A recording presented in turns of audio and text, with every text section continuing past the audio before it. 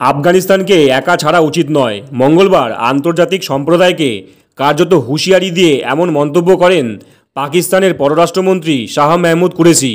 তিনি বলেন, অতীতের ভুলের পুনরাবৃত্তি করা এবং যুদ্ধ বিধ্বস্ত দেশকে অর্থনৈতিক ধ্বংসের দ্বারপ্রান্তে রেখে দিলে পরিণতি ভয়াবহ হবে। কুরেশি বলেন, আফগানিস্তানের ইতিহাসে এটি একটি গুরুত্বপূর্ণ মুহূর্ত। আন্তর্জাতিক সম্প্রদায়ের এখানে সংযুক্ত থাকা উচিত।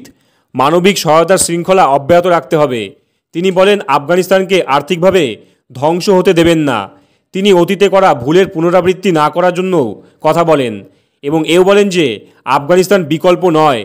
কুরেশি বলেন, বিশ্বের উচিত আফগানিস্তানের পরিস্থিতি এবং একে নষ্ট করছে এমন উপাদানের উপর নজর রাখা। তিনি আরও জানান, পাকিস্তান তিরিশ লক্ষেরও বেশি আফগান শরণার্থীকে আশ্রয় দিয়েছে। কুরেশি বলেন, আমাদের আফগানিস্তানে এমন পরিবেশ তৈরি করতে হবে যাতে সেখানে পুনরায় অভিবাসনের পরিস্থিতির সৃষ্টি না হয়।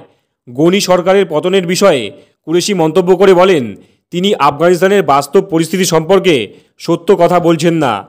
পাশাপাশি তিনি এও বলেন, তালিবানদের জারি করা সাম্প্রতিক বিবৃতি উৎসাহজনক। তালিবানদের অবশ্যই মানবাধিকার এবং আন্তর্জাতিক আইনের প্রতি সম্মান দেখাতে হবে।